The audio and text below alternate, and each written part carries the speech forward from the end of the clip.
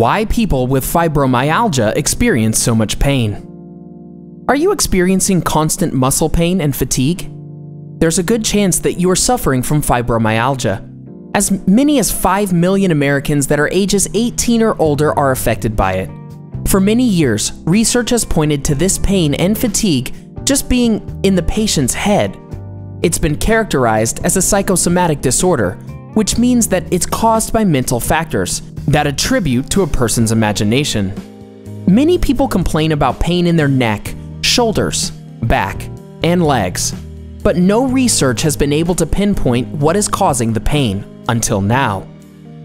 Recent research has finally determined that this pain is in fact not just an imagination, but actually caused by a sensory nerve in the blood vessels found in the palms.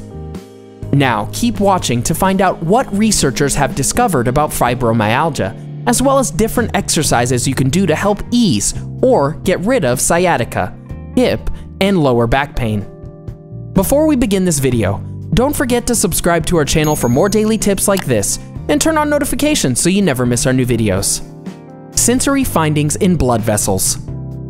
In order to be sure about their findings, the team conducted a second study to see if they could locate any pathology in the blood vessels that could also contribute. After analyzing skin samples they collected from women who suffered from fibromyalgia, they discovered that there was a large increase in sensory fibers in certain sites within blood vessels of the skin. These nerves are part of the arteriole venule shunts, which are responsible for heat regulation in our body by controlling the blood flow in our blood vessels. In warm conditions, the shunts shut down, which forces blood into the skin surfaces so it can be released. In cold conditions, the shunts open up and allow the veins to conserve heat, thus our hands and feet become cold. Wondering how to get rid of certain types of pain if you have fibromyalgia or experience frequent muscle, hip, or back pain? Well, keep watching until the end, because we'll tell you about some exercises that may be able to help relieve your pain. Excess Sensory Innovation. The lead scientist on the study, Dr. Albrecht, explains that this excess sensory innovation may be the cause of painful hands that fibromyalgia patients experience. Since the sensory fibers are responsible for opening the shunts, they would become particularly active during cold conditions, which are very bothersome times for fibromyalgia patients. Blood flow. The research team also came to another conclusion. They explained that our hands and feet usually contain more blood than needed, so they're used as reservoirs for our blood, which can be delivered throughout our body. President of Integrated Tissue Dynamics Dr. Rice elaborated on their findings. The pathology discovered among these shunts in the hands could be interfering with the blood flow to the muscles throughout the body, this mismanaged blood flow could be the root cause of the muscle pain and achiness and the sense of fatigue that fibromyalgia patients experience. These findings are a step in the right direction for those suffering from fibromyalgia. It offers a proper treatment instead of the usual painkillers and antidepressants. So if you're suffering from fibromyalgia, or know someone that is, it's good to finally know that you're not crazy and you can certainly be sure that fibromyalgia is real. Causes of fibromyalgia. Doctors are not completely sure of what actually causes a person to get fibromyalgia. A variety of factors may work together. Genetics. In most cases, fibromyalgia runs in the family, so there could be a certain genetic mutation that can cause you to be more susceptible to this disorder. Infections certain illnesses have the ability to trigger fibromyalgia. Physical or emotional trauma. Fibromyalgia can sometimes be triggered by a physical trauma, like severe car accident. Psychological stress can also be a triggering factor as well.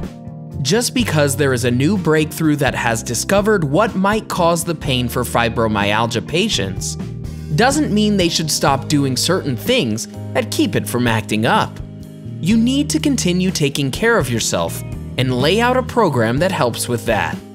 You should first try and reduce the amount of stress in your life. This could mean putting some time aside just to relax. Getting enough sleep is another key point. Since fatigue is one of the main characteristics, getting enough sleep is essential. Also, you should try and exercise regularly. It may hurt at first, but it will eventually reduce the pain significantly. Now that you know about what could potentially cause fibromyalgia, here are some exercises that you can complete if you are experiencing pain related to medical issues. If you've ever experienced muscle, hip, or lower back pain, chances are it was a direct result of an irritation of the sciatic nerve. This muscle pain can spread downwards and also affect the limbs and the feet as well. Many people suffer from this pain and it can make their daily routines challenging. If you are unfamiliar where the sciatic nerve is, it's located deep in the buttocks. Because it surrounds the piriformis muscle, any constriction or swelling to the muscle could lead to an irritation of the nerve and possibly pain as well. The piriformis muscle connects the top of the femur to the spine, and it's the main one that supports the outward movement of the hip, upper leg, and foot. However, the sciatic nerve can sometimes pass through this muscle and cause sciatica, or known as piriformis syndrome. Many people use medication to numb the pain, but that won't fix the irritation issue, and you'll just end up on medication for the rest of your life.